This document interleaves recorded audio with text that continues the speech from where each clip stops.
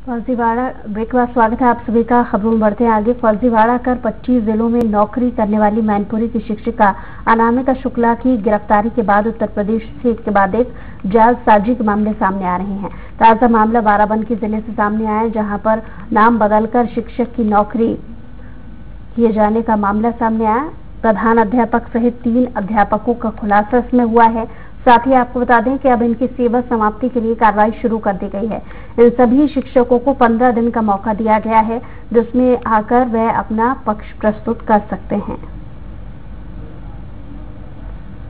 और इसी पर ज़्यादा जानकारी के साथ भोलानाथ फ़ोन लाइन पर जुड़ गए हैं। भोलानाथ, क्या पूरा मामला है?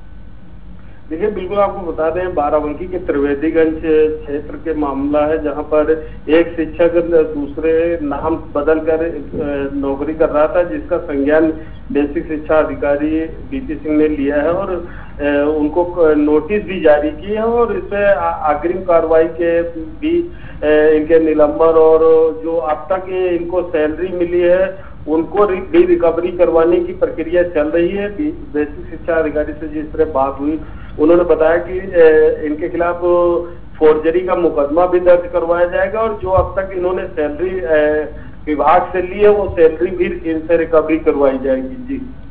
चलिए, बहुत शुक्रिया तमाम जानकारी के लिए, भोलानाथ।